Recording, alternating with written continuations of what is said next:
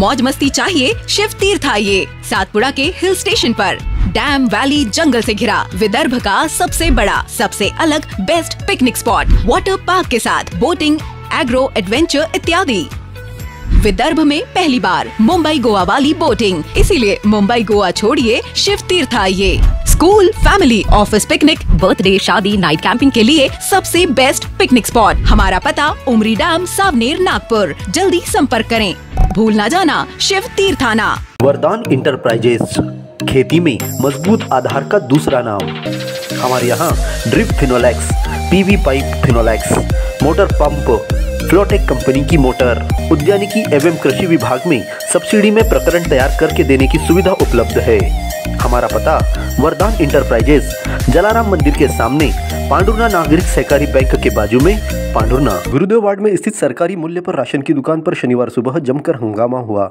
दुकान के संचालक की मनमानी को लेकर उपभोक्ताओं ने अपनी नाराज़गी ज़ाहिर की।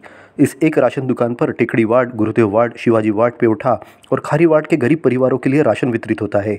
शनिवार सुबह विक्रेता नितिन कलम्बे ने जब राशन दुकान खोली तो राशन लेने पहुँचे कई लोगों ने लंबे समय से राशन नहीं मिलने की शिकायतें की। देखते ही देखते दुकान के बाहर अव्यवस्था फैल गई। कंट्रोल नहीं मिला? बीस तारीख से कंट्रोल नहीं मिला और साठ पड़ा यही भी तारीख क्या है मालूम नहीं। कितने दिनों से कंट्रोल नहीं मिला है।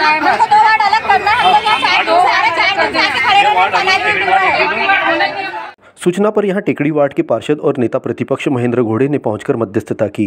उपभोक्ताओं का कहना था कि राशन देने के लिए 25 तारीख को दुकानें खोली जाती है और 28 से 30 तारीख तक दुकान बंद कर दी जाती है। इससे राशन ले लिया ले लिया, वरना बाकी परिवारों को लंबा इंतज़ार करना पड़ता है। लाइन लगने से कई परिवारों के राशन कार्ड भी ले लिए जाते हैं। पिछले महीनों का बचा राशन नहीं देने की बात कही जाती है। इस तरह की कई शिकायतों को लेकर राशन दुकान के बाहर हंगामा चलता रहा।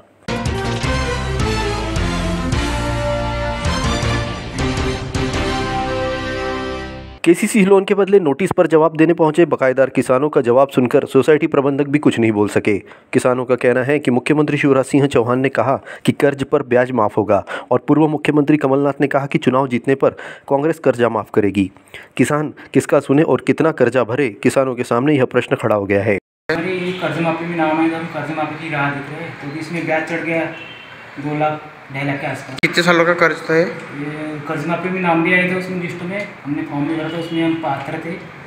पापा का है मंसरम भी पूरे लेकिन अभी वो उसमें डेढ़ लाख का उसमें समय था डेढ़ लाख का माफ़ी नहीं हुआ अभी वो उसमें चले गए। क्या समस्या है?